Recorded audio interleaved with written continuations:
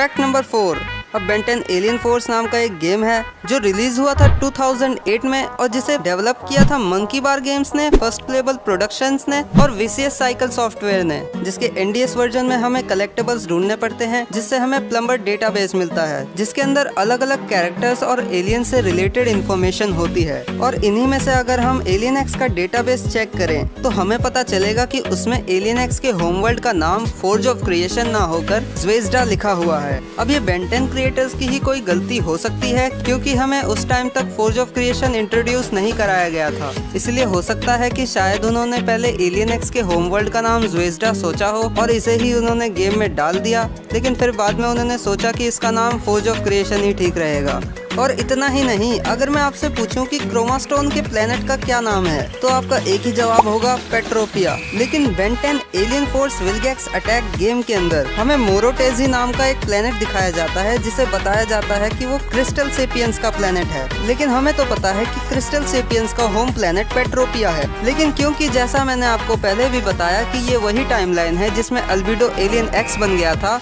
और क्योंकि ये एक अल्टरनेट टाइमलाइन है, इसीलिए ये हो सकता है कि इस टाइमलाइन में कुछ एलियंस के होम प्लेनेट वैसे ना हो, जैसे कि हम जानते हैं।